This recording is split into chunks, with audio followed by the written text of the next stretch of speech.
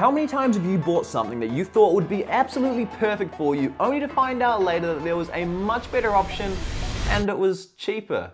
Me too. I feel your pain. So in today's video, I've made it my mission to find out if buying expensive FPV controllers is actually worth your money, the best control options at every budget that'll last you a lifetime, and why buying the most expensive option might not actually be the best. Now, before we can do any of that, I need you to understand the five golden fundamentals of an FPV controller. If a controller ticks all of these boxes, then you know it's a solid controller, and if it lacks any of them, then you know what to be cautious of if you do go to buy it. Golden fundamental one is usually one of those things that come along with spending more money.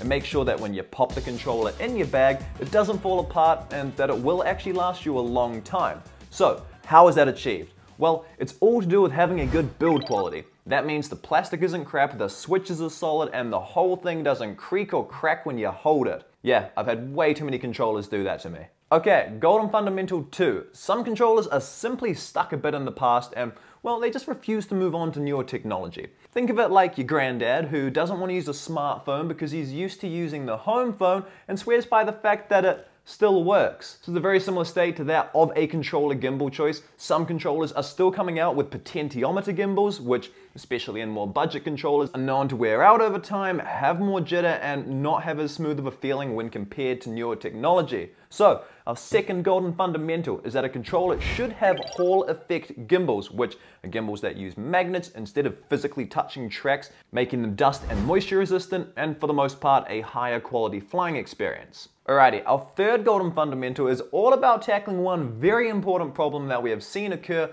over the years. As time moves forward, so does our development of technology and software, meaning that buying a controller that is locked into a particular radio protocol may not be the smartest solution. Golden Fundamental 3 is having a modular protocol support system which is usually in the form of a module bay. That'll allow you five years in the future when we get some revolutionary radio protocol with crazy range to just be able to purchase the module, pop it into your controller, and not have to worry about buying an entirely new setup. This next golden fundamental is possibly one of the most important factors to consider for yourself. In fact, I would go as far as saying that without this fundamental, there is probably no point in you purchasing the controller at all. As I'm certain you understand, the controller is the one point of contact as such that we have with our drones, meaning alongside our goggles, it's the one thing we actually have attached to our body. You may have guessed it by now, but that makes Golden Fundamental 4 all about being comfy and ergonomic. If it sucks to hold, what is even the point? Okay, and for our fifth golden fundamental, we have to consider all ranges of skill levels. That means beginners and pros alike, but not quite in the way that you're probably thinking. When starting off, a beginner needs something that is simple to use and can connect to their favorite simulator to practice with. Similarly, a pro needs something that is streamlined and efficient and also hooks up to their favorite sim. The one thing that tackles both of these head on for this golden fundamental is USB-C, but not just any type of USB-C, one that specifically offers both charging and data transfer. That way it's a simple plug-in to charge up and an equally simple plug-in to go on a sim. Alrighty, so now that you understand the measurements that I'll be using to judge the controllers, let's introduce the handy or horrible chart. Controllers that have most of the golden fundamentals ticked off will go over here, whereas the controllers that don't, they'll be going over here. So let's start off with the cheapest and work our way all the way up to the most expensive. This first controller is the only one that I don't actually have with me in my hands today, and well, you'll see why shortly. This is the Beta FPV LiteRadio 2 SE, and it comes in at a very compelling $45. Now, let's pull up the five golden fundamentals, starting off with good build quality. Surprisingly, this is actually a really well-built controller that feels amazingly solid and definitely feels above its price range, so it actually checks this one really easily. Unfortunately, however, this is where it all mostly stops being positive.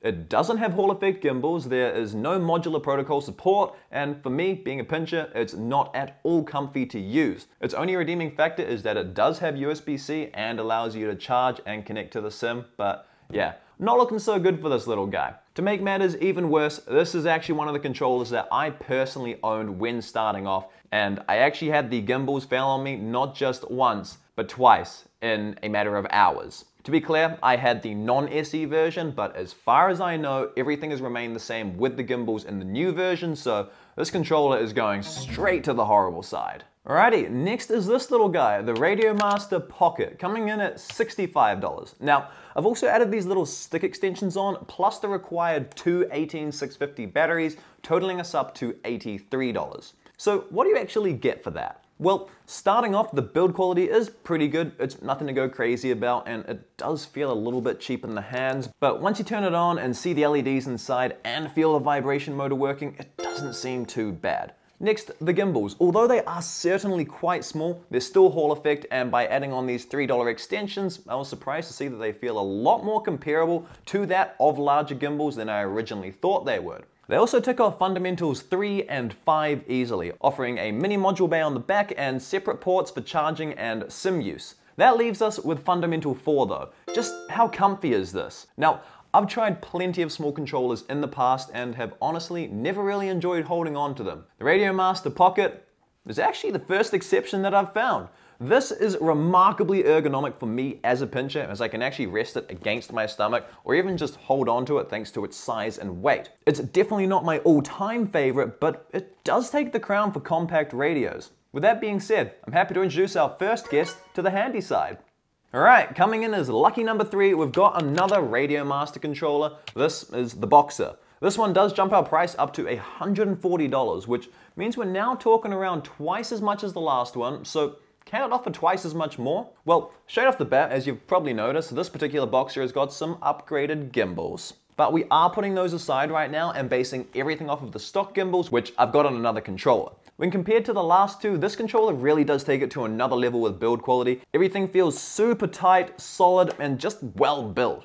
Then, regardless of if you have the upgraded AG01 gimbals like these, both the stock plastic gimbals and these ones are Hall effect full-sized gimbals, which I'm a massive fan of. Then, of course, if you flip it over, it casually just one-ups its younger brother with a sweet full-size module bay, which can come in handy if you ever need a larger and more power-hungry transmitter module. Now you might be thinking, that's great and all, but how does it actually feel in the hands? And well, if I'm being totally honest here, it feels really bloody good. Like, oh my god good. It strikes the perfect mix of size, not being too small that my hands feel like cramped, yet not so big that I can't just hold on to it without a neck strap. Finally, in what seems to be Radiomaster fashion, we've got two separate USB-C ports, one for data transfer and one for charging. Again, it's not ideal as it really isn't that hard to combine the two, but at least they still have both. This one really does tick all of the boxes, no pun intended there, so it actually saves itself a solid spot on the handy side.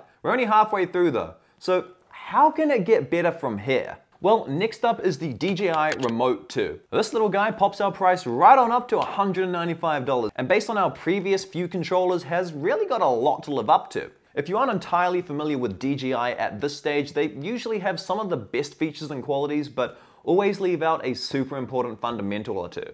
So let's change it up a bit and just start from the bottom of our fundamental list. USB-C data and charge, check. Comfy ergonomics? Well, for the most part, I don't really love this game style controller, but for its form factor, check. Modular protocol support? No, no, not at all. Being the usual apple of the drone hobby, everything is limited to that of DJI's ecosystem only. That means no support for anything other than the DJI transmission, and even then, limited capabilities as to what DJI drones it could actually work with. Hall sensor gimbals, on the other hand, though, check, although for the price they do feel a little bit small. Then finally, build quality. Also, another check. This is one of the things that DJI excel at, and realistically, it might be one of the smoothest yet high quality controllers we've seen yet. Thanks to the major limitations of protocols with this radio though, it makes it a super tough sell at this price, so I'm gonna have to put it right in the middle of handy and horrible. For just $5 more though, you can get your hands on this bad boy, which has been my go-to daily driver for the past three years. In saying that though, the Radiomaster TX16S, which comes in at $200, would not actually be my choice if I was starting out again. More on that later in the video though. In terms of hitting the fundamentals, it checks number one, number two, number three, and number five. Where it does lack, however, is in its ergonomics. For some, the sheer amount of buttons and dials and switches it's a little bit overwhelming. They're a must for some people. And if that is the case for you, then unfortunately you're gonna need a beefier and bulkier controller, which is exactly what the TX16S is. I don't feel like I can use it without at least sitting down and resting it on my knee, or at the very least with the aid of a neck strap. Its sheer size doesn't make the controller uncomfortable to use when I can do one of those things though, so it would be unfair to say that it completely fails this fundamental, hence why I'm giving it a half check and putting it over on the handy section. Now, this is where things go a little crazy. This next controller is not just twice the price of the TX16S, nor is it three times the price. No, this next controller is five and a half times the price, coming in at $1,100. Obviously, a controller of this price is not for the average enthusiast. Instead, this thing must be revolutionary or at the very least look expensive for bragging rights. Just before I show you this controller though, I want you to think to yourself if you were given the option to have this upcoming $1,100 controller or the $65 pocket radio for absolutely free, which one do you think you would pick? All right, enough speculation.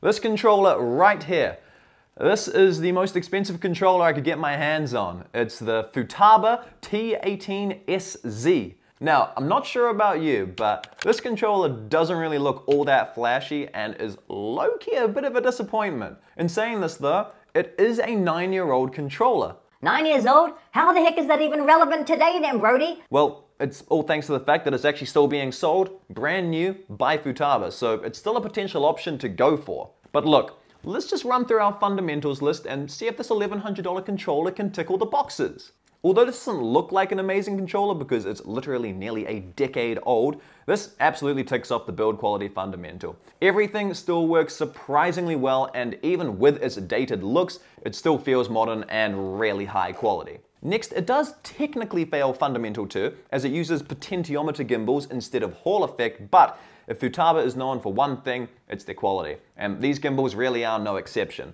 They feel great, they're still holding up well after nine years, and will more than likely outlast most of the brand new cheap Hall effect gimbals. So I'll give it a full check here as the sheer spike in quality does override the fact that they're behind on the technology. Then we get to move on to the modular protocol support side of things. This is where it gets a little bit tricky, but to explain it simply, there is no module bay on the back, so you're stuck using Futaba's specific protocol system, all of which happens to cost a lot as well. But in saying this, there is also the possibility to add on a Crossfire transmitter specifically, but you will need to do some tinkering, and in comparison to module bay ready controllers, this kinda just sucks. So I'm gonna give that one a half check. Unfortunately, it really doesn't hit the mark with Fundamental 4 either, being pretty much the exact same form factor as the TX16S. In fact, I think the TX16S might have actually been modeled off of this controller first. Anyways, that's all to say that it's still kind of, you know, meh in the hands, and I'll give, I'll give it another half check there. Then finally, just like every other controller so far, even the crappy LiteRadio 2, it's got both data and charging through USB-C. Wait, what's that? It doesn't even have a USB port at all? What? Yeah, you heard me right. Thanks to this controller's release only a year after USB-C was invented, it never got it, not even as an update over the past nine years. Back in its day, this would have been the golden standard for radio controllers, and had Futaba updated its hardware and continued to provide high quality controllers with modern technology, they might very well still be worth buying today. Unfortunately, however, as you now know, this hasn't been the case, and it's perfect to show you just how picking the most expensive controller isn't always the best option. You would literally be better off with the Pocket Radio for over a $1,000 less. So with all that laid out in front of us, it's pretty shocking to see the most expensive controller scored itself a 3 on the Golden Fundamentals scale. And well, you know what that means. Alright, now you might be thinking with these three Radiomaster controllers happily taking up the handy side, which one should you actually invest in? When I was first getting into the hobby, I found the cheapest controller possible, which at the time was the Emax EZ Pilot controller, and it was something like that. But I mean, hey, look, it cost $26. As to be expected though, this controller's gimbals failed on me pretty much immediately, so I upgraded to the lovely Beta FPV LiteRadio 2 that we talked about earlier. We all know how that went, with two failed gimbals, which then prompted me to sink as much money as I had into a controller that wouldn't suck. At the time, my only real option was to jump all the way up to the TX16S, and to be honest with you, I really only have good things to say about it, considering the fact that it's lasted my rough lifestyle for the past couple of years. So, considering the fact that I've started at the cheapest end and worked my way all the way up to the most expensive end, these are going to be my recommendations. If you have a super tight budget, pick up the Pocket Radio. It's going to be the best bang for your buck and you may honestly never need to upgrade from it. If however you just want the best of the best, it's between the TX16S and the Boxer. Even though right now I own the TX16S and that is my daily driver, if I was buying a new today, I would swing towards the Boxer thanks to its size and honestly, it just feels better than this one does. To add to that as well, if my budget allowed for it, I'd also have these upgraded AG01 gimbals installed too. Like that may seem a bit overkill for some, but for me, I think it's just like the ultimate combo. Now, even though you've got your controller sorted with a little bit of money to spare, it doesn't mean that you should go ahead and blow the rest of your budget on gear that you don't need. So in this next video here, I'll be showing you the FPV gear that has genuinely helped me improve as a pilot and how to get it all without breaking the bank. See you over there.